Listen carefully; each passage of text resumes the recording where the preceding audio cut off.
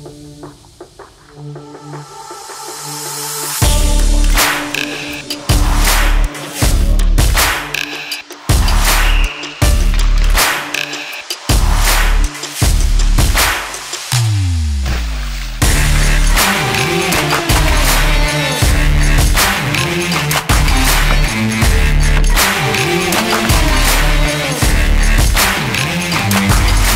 Nu blir det intressant att se om det blir någon matchförändring.